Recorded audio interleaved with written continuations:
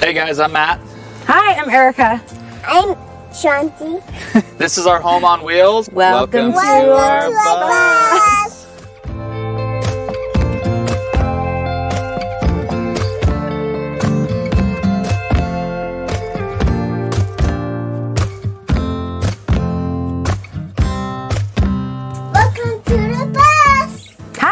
Welcome to our kitchen. Probably my favorite spot in the entire rig because we did not compromise. We decided that, well, I spent a lot of time in here. so I wanted to make sure it was comfortable and spacious and had everything plus more. Um, so what you can see here, of course, we've got the, the butcher block countertops, sturdy, solid, and really, really durable. Um, just like in our last bus, we had a copper sink and we love it because it's easy to keep clean. It's anti antimicrobial. Our copper sink is antimicrobial. So the copper sink, we love it. It's huge compared to a lot of tiny homes on wheels. We went for the width and the depth because we have a child and dishes just magically appear in our sink all of the time. Um, this is recent. We hung this. I know a lot of people do the really cool hammocks, but we decided to go with just the stationary uh, bins to hold our fruits and veggies. Matching with the sink, we did copper for upper shelves. We went with copper. We wanted all of the elements. We love wood, but we didn't want like a cabin feel necessarily. So we've got the copper, wood. Our backsplash is copper. It is peel and stick, but it went on really nicely, and I think it's a great touch. Moving back to the the back part of our kitchen, we've got a three burner stove top, which I love, and an oven and two fancy drawers that came with it. Uh, this is a cedar piece. Now we got a lot of live edge. We use it everywhere. We have countertops, our wall piece, all of our window seals. Cedar, it smelled glorious when we were building in here. It was fantastic. Uh, this is our pantry, and it was another must have for me because I didn't want to feel like I was shoving things into tight spaces. So this full pantry that has all of our storage. This is our favorite drawer. We have 41 drawers in here, by the way, in the entire rig. This one just is the pull out monster. Five drawers that I intended on being perfectly organized, they ended up being just snacks, snacks, and then snacks, more snacks. We went with a big fridge primarily because it gives us more time off of grid. You know, when prior we would have to go into town to restock over and over again. With this beast of a fridge, we can go up in the hills and stay gone for a long time.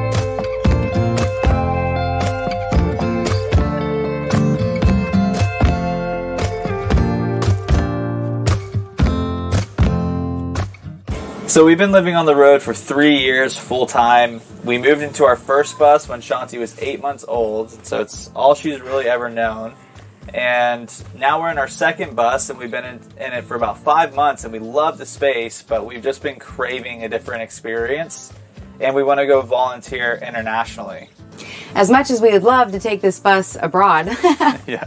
it it's not that easy. So we it's a bittersweet selling, but we are going to sell this rig to somebody who will use it and appreciate it and love it as much as we have. Uh, so we're going to downsize to uh, three backpacks and hit the road. Nope, hit the skies. and, Yeah. and then go travel abroad and, and volunteer our time.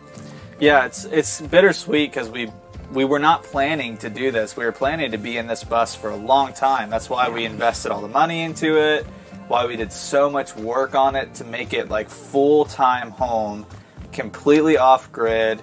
And off grid for a lengthy amount of time. Yeah. You know, it's not Yeah. just a week or two. This thing can rock out for quite some time. Yeah, when when we say off grid, it's not like hey we're like camping without power hookups. Like we have AC, 200 gallons of water. I mean, like this thing is really made to be completely off grid sufficient for a long time.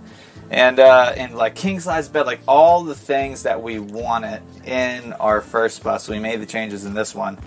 But like we said, it just is not feeding us the same as it used to. We're just craving some more international culture, more experiences, and to help other people. So, welcome to the front driver area of the bus. Up here in the front of the cab, we left it very much school bus because the whole rest of the rig does not look like a school bus at all anymore. So, it's fun to still have those touches. And we have one of our AC units up here. This is a mini split, 12,000 BTU, does heat and AC. It's running off our solar system right now, keeping us nice and cool here on the bus.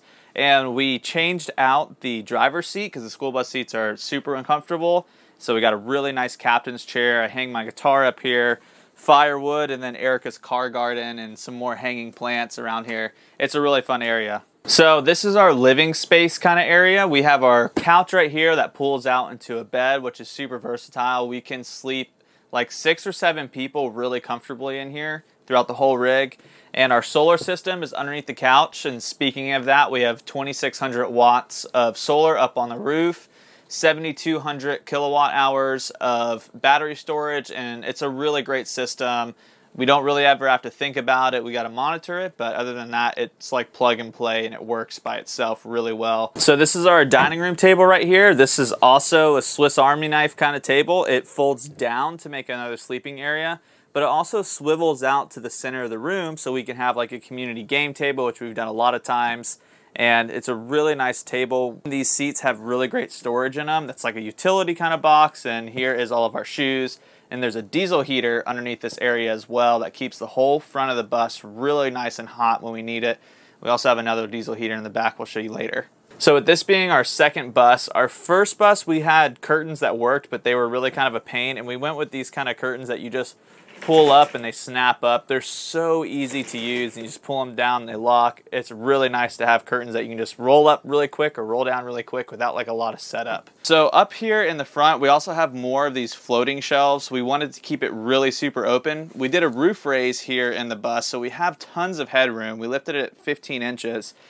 And we could have done upper cabinets, but we wanted it to feel very open and and very inviting in here. So we went with the upper shelves like this with the copper piping, and it works out really good. Nothing ever falls off. Tacky tape and all these kind of things works really great. So one of the highlights of the bus is our ceiling. We did a herringbone pattern down the center of it with these really cool color changing LED strip lighting at nighttime. The ambiance in here is amazing. Really did turn out to be one of the most amazing centerpieces that run all the way down the bus. So this is kind of like our in-between of living space in the kitchen and we use it for a lot of different things. We call it the standing desk because we can stand here and work, but it's also a really beautiful cedar live edge piece with a cedar backsplash. Most homes have a junk drawer. Well, we have four of them because we have a lot of junk. So like quick grab tools and just things like this and these are all on soft close so they never open up.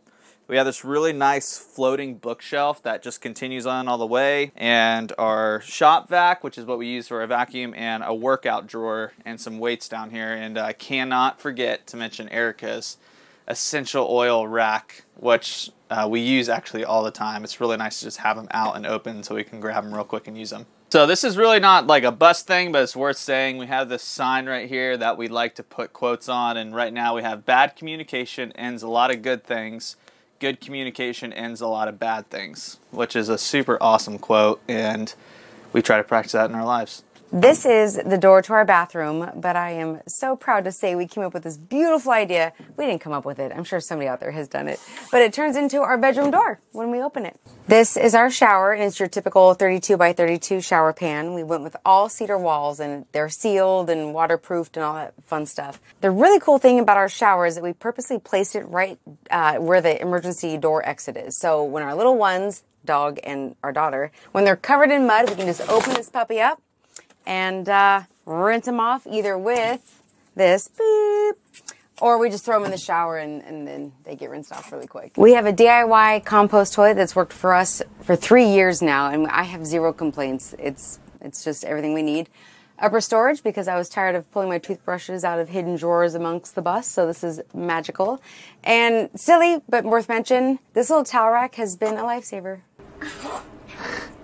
Welcome to my bedroom. Here's my here's my toys. And I totally got a boo boo. My crib over here. I have butterflies. Here my brothers. You can stand up so you can see this. In my map, I'll show you all the things. And Dawson and Cousin live right here. Mimi and Gangan live here. It turns off like this. And my unicorns glow in the dark. That's how cool um these are my little stuffies. So welcome to the back of the bus. This is where our bed, office, washer machine, and a lot of storage is in our closet. So to start off, I'm standing up on the platform right now. We built a platform over the wheel wells, and because we did the roof raise, we have the height to do that. So I still have plenty of clearance here. This platform lifts up and has a lot of storage underneath it. And our washer machine is over here, does a great job.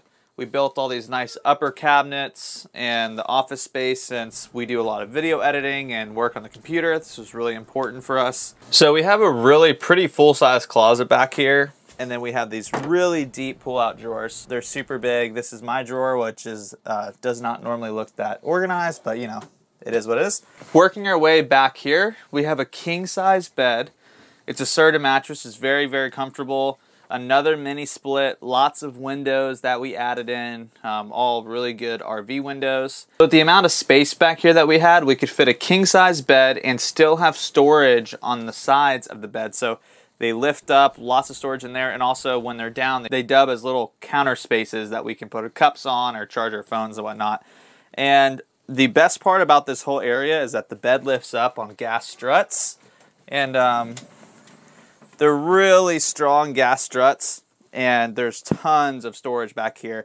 And you can see our 200 gallons of water is underneath the bed. So all the plumbing is inside, so it's an all-weather bus. Really nice to have, and that's Gypsy. And just lots of storage, and even in the back, it just keeps going. It's a ton of space underneath there. Really convenient to have. And right underneath our washing machine is our second diesel heater.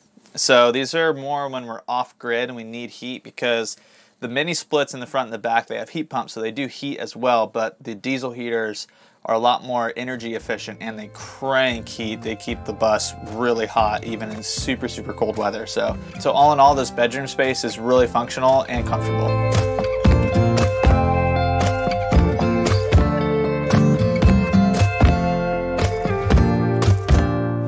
There's a lot of reasons why we've stuck with school buses when we've done home on wheels kind of thing. Is for one, they're built like tanks. An RV, if you get an accident, it literally just blows up and Just falls crumbles, apart. yeah.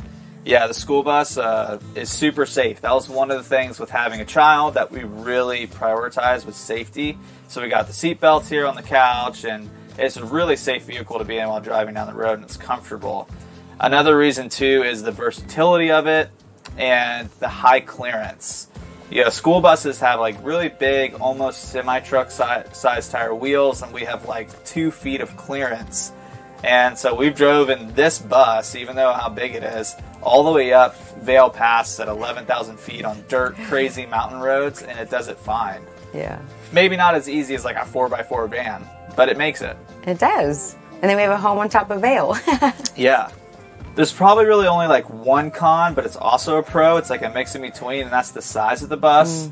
Um, and we flat tow our vehicle.